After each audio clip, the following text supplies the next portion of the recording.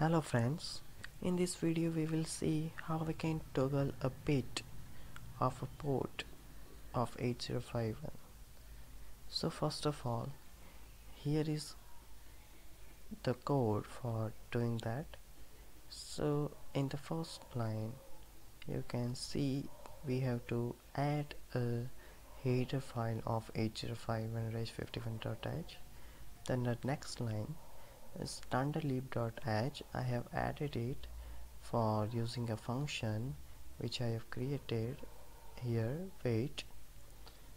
If you want to see how, how I have created it then you can refer my another video in which I have shown how you can create your own function and how you can add it in this header file standardlib.h so I am using it here as a delay function.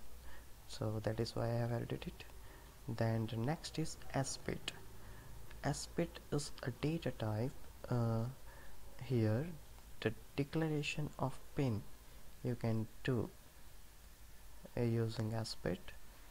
So I have taken here port p1 and the pin 0 so after that the main function is starting so in the main function we have declared a z as a variable for continuously we are toggling a bit uh, 50,000 times.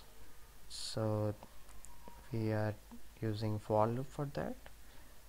And then we are toggling a bit 0 to 1 and again it will 0 to 1 0 to 1 and we have declared some delay here.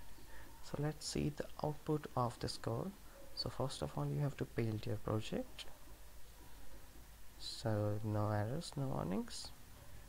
Now you have to debug it.